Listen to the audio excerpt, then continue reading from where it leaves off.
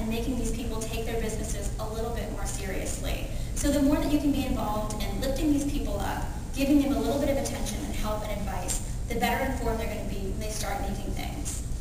So the third point I want to drive home tonight is the fact that the DIY community has really gone out of its way to, pay, to make people pay attention to the skill behind the work that you guys do. I think girls like this and the crafters in general, they might get a little made fun of. They might be marginalized. They're a little kooky. They're a little crafty. But people like this have really done a lot to draw attention to how good you guys are at what you do.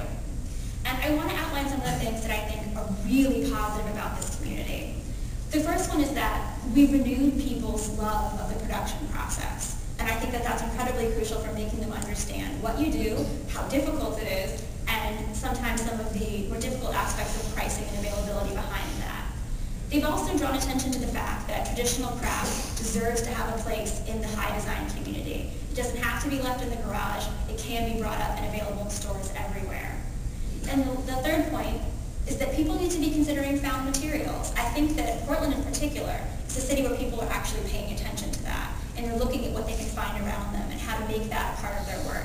But the DIY community in particular is, is especially fond of this method of production. And they are trying to work almost exclusively with things that they can find around them for free, things that exist that are specific to their regional area, and things that are just available in abundance laying around. And it doesn't end there either.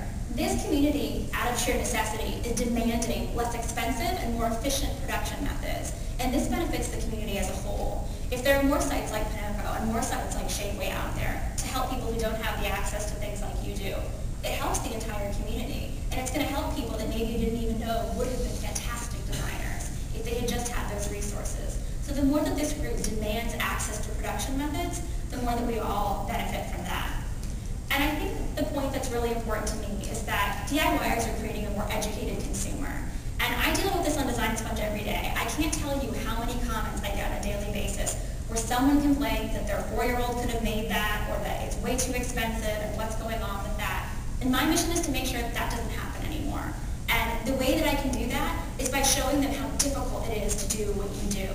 So the DIYers are paying attention to, here's some projects why don't you try your hand at making some of the things that other people do?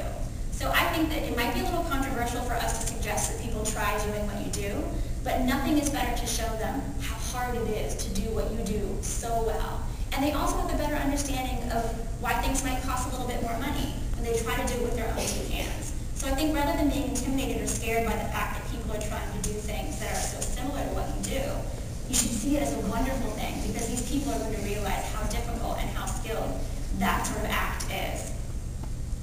And I think something that we should talk about a little bit is the failures of the DIY community. Sure, we have problems like copying, and we have problems, you know, with people sort of, you know, leading off of other people's work. But these failures are probably the best signal for professional designers of where your work and where your help is needed the most. I thought I'd share some examples of what I thought were failures of the community tonight. And if you've never been to the website Regretsy, as soon as this is over, open up your phone and enjoy. Just grab a bag of chips and enjoy the freak show because it's pretty hilarious. So these are some products that I thought would be good examples of common failures you see in the DIY community. This is an outfit made out of an IKEA bag. These are some super stylish Converse that have been customized. This is this a typical egg carton, not the you know nice cardboard kind, the styrofoam kind. It's being sold for five dollars as a jewelry organizer. My personal favorite, a peace symbol made from the top part of a lamp. and if you really love Doritos, you can now carry them as a purse for only ten dollars.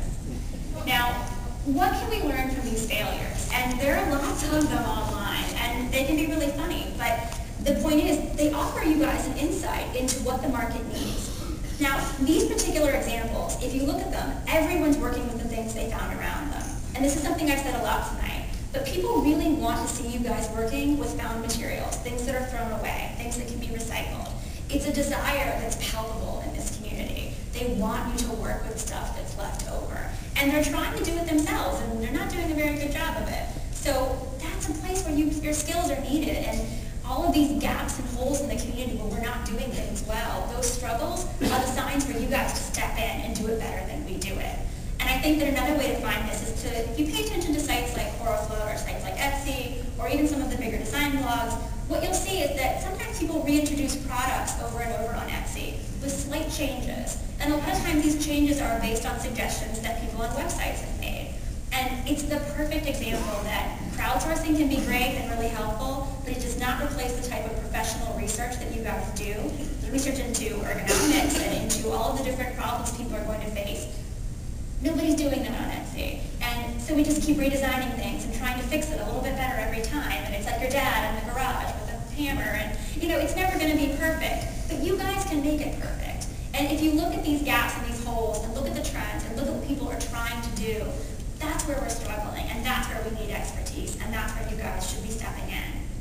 Now, the last thing is something that I think is sort of the core of what I'm trying to tell you guys tonight, which is these three groups, you know, the, the girls with the glasses, the crafters, the really serious people, they're, they're, all, they're all trying to, you know, make things and, and be a part of the community that creates things that solve problems. And they're not so different. And if they would just work together as a team and communicate a little bit more, their production processes could be, could be sped up. Things could be more efficient. We could create better products just if we start talking together. And I think that this is probably the most inspirational quote I got in the research that I did for this speech, which is from Bart Haney at Fuse Project in New York. And we talked for a long time and Bart said, you know, I think maybe the future of DIY isn't really do it yourself, but doing it together. And these two teams need to be working together. We need to take off our silly glasses, and we need to talk to each other, and we need to realize that each group has something the other one. DIYers are responsible for half of this. DIYers need to share the problems we're having. I think a lot of times DIYers are a little bit intimidated by you guys and think that you're not going to take us seriously. But if we share the problems we're having, you guys can step in and help us, or you can solve them for us because you guys have the expertise. We're demanding new methods of production. And these sorts of methods are things that benefit the whole group. But we need to communicate about what the problems we're having and sort of the holes that we need in production processes. And DIYers have endless amounts of ideas. These are people who are talking online 24 hours a day about crazy ideas they have for producing things and reusing materials around them. And the best part about this is these are your new interns. These are your new employees. These are the people who are eventually going to end up working with you. And this is a completely different type of worker. This is not someone who's secretive. This is a community that's incredibly open-minded. They're willing to share. And when you bring them into your world, you don't just bring them. You bring the thousands of people they talk to on a regular basis online. They're an infinite network of ideas, and they're happy to share them with you. Now, professional designers have a responsibility in this too. And I think as someone who's involved in the other half of the community, I see a very unique future for you guys. I think that you are going to become the curators of the design community. There's a need for someone with expertise. There's a need for someone who can make decisions that we can't make. And that's where you guys come in.